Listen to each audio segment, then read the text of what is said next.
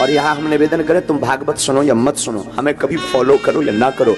असली हीरो जो टीवियों पर आ रहे हैं, वो असली हीरो नहीं है। असली हीरो तुम्हारे घर में बैठे हुए, तुम्हारी माँ, तुम्हारा है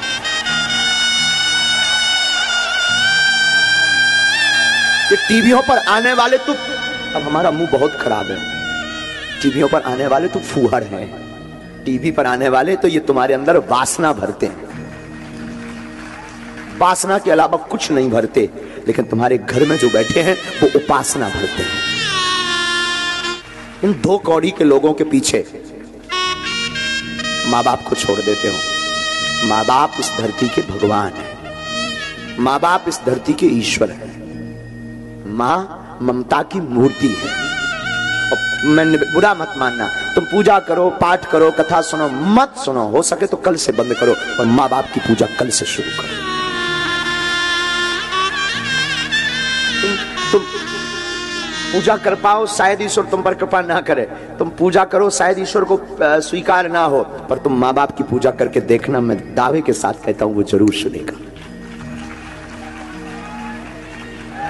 माँ बाप और गुरु इस धरती के भगवान है। निवेदन करूँ, सबको सताना, पर बच्चों माँ बाप को मत सताना। माँ बाप कोई साधारण मानो नहीं। माँ बाप इस धरती के साक्षात ईश्वर है। तुम कितना गाली बकलो। बाप एक घड़ी बड़े निष्ठुर रहेंगे, पिताजी थोड़ा होते हैं कठोर, कई बार। पर माँ एकदम सरल। चोरी से रुपया दे देगी, तुम गलती कर दोगे तो वो पिता से लड़ जाएगी, तुम्हारे लिए। अपने पति से लड़ जाएगी तुम्हारे लिए। तुम्हारे पिता से लड़ जाएगी, लेकिन पक्ष हमेशा बेटा बेटी का लेगी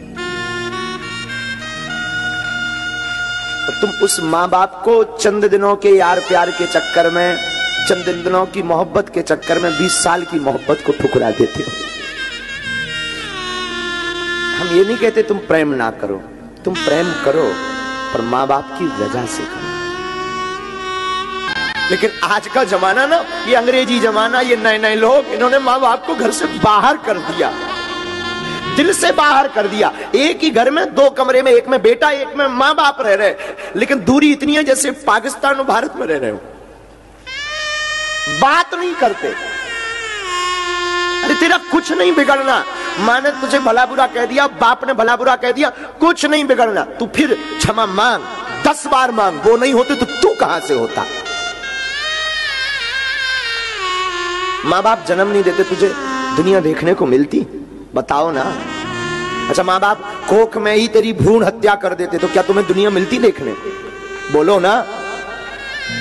माँ बाप ने जन्म दिया, तब तुम कथा सुन रहे। काशी में तब तुम बैठे, तब ये दास कथा कह रहा क्योंकि माँ बाप भगवान है।